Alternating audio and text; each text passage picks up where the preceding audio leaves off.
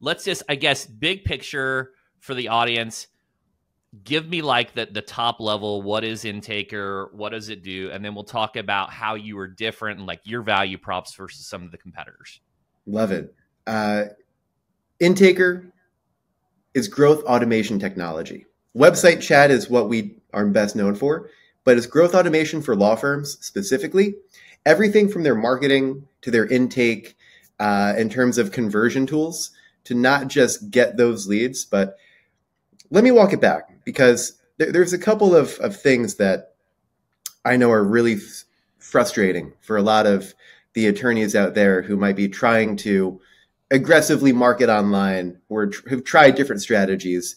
And I know that when you get people in the door, they turn out to be low quality leads, but they're already in your system. They're already taking resources, your your staff, uh, time spent talking to these people, and the the the the drag that that can put on the entire operation when you're trying to grow it can get frustrating. So to your point, Chris, yeah, conversions is one thing, but signing cases is is a, a different skill set, I would say, for a technology. And so, you know, one one of the things that uh, I know we're keeping this high level, but one of the things that Intaker tries to do very differently than a lot of other live chats and other tools out there is qualify in advance every potential client that walks in the door.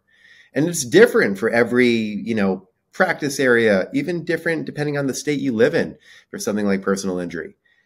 But if you can get the right information up front and then use intelligent tools, which I'll get to a little bit of where we're going, what we're building, um, you know, to help make sure that you're only focusing on the right potential cases for your firm. You know, I'm sure when you're doing SEO, it's you're you're getting a mix of results. But how can you go ahead and make sure that in like the different spread of leads, you can really focus on the ones that matter. But more importantly, how do you see those first? How do you see those early? And how do you make sure that if you're getting a potential case from SEO, they don't call someone else, that they talk to you first? And using technology and tools to make that a lot easier than it used to be. That's what we've built so far. That's also where we're continuing to build. So I'm excited. This is a good time. I'm going to tell you some uh, some exciting stuff here in a bit, but let's go. so, so thank you for that. So you've got, you know, over a thousand firms using your tool and you're getting this constant feedback loop of between the agencies, the firms, the, just the, the, the tool and advancing and improving it. You know, so the first thing is tell me the difference in like you know the logic based intake versus the live rep versus the maybe the generative ai that people are trying to go to like tell me the differences and how kind of you're managing that pre-qualification at the very beginning. Good question good question. So uh, i'll put the gen ai on the side for now and i'll focus on uh, you know the chat automation that Intaker uses versus a typical live chat which i know there's still a lot of loyalty and a lot of appreciation and a lot of you know uh, firms who are, who are who are getting results doing that. So uh, not to disparage, but but rather to, to show what the difference is, right? Uh, Intaker is chat automation, not true AI in the chat. It is a rules based approach, but something that, for example, if you let's say a visitor lands on a website and it's a personal injury firm and you know, they have the little intaker video, which we'll talk about in a bit.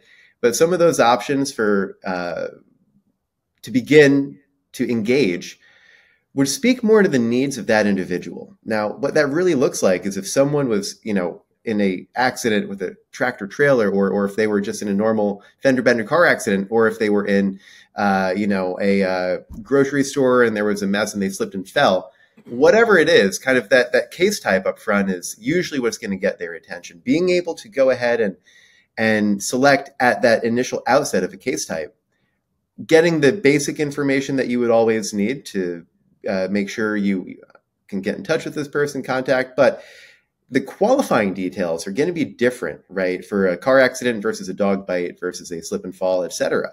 And so when you have a rules based approach, chat automation like Intaker, what you can do is basically go through step by step and get all of those qualifying questions the same way that your intake person might ask on the phone, right? About what was the Uh, when did this accident take place? You know, were you hurt? Was the other person?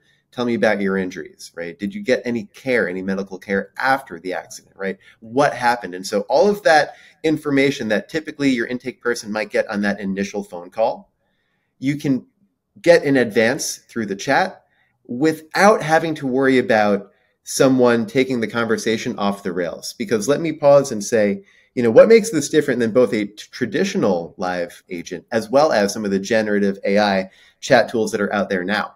Um, so a traditional live agent would do much, you know, the same in terms of pre-qualifying, capturing lead information, but the difference is that the user being able to chat freely can kind of take the conversation wherever they want to go.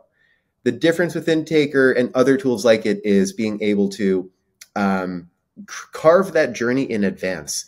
So when someone begins that interaction, 60 seconds later, 30 seconds later, whatever it is, they're going to have given or been asked to give all of the right information that the law firm needs to pre-qualify the case without having to worry about, you know, is there something here or is there not? And calling people back when it's, you know, a maybe situation you're not clear and it winds up eating up your receptionist or your intake person's 20, 30 minutes on the phone. Uh, these are small things, but they grow into big things over time. And so that's kind of the one of the the earliest problems that we sought to uh, solve with the technology. And just a quick note on the other generative AI, I've seen really cool stuff using that for like FAQs, summarizing, you know, uh, content on websites. But when it comes to conversions, when it comes to getting interested folks in the door, we've got something you can help them with. The generative AI is not really the best tool for the job in, in my experience from what i've seen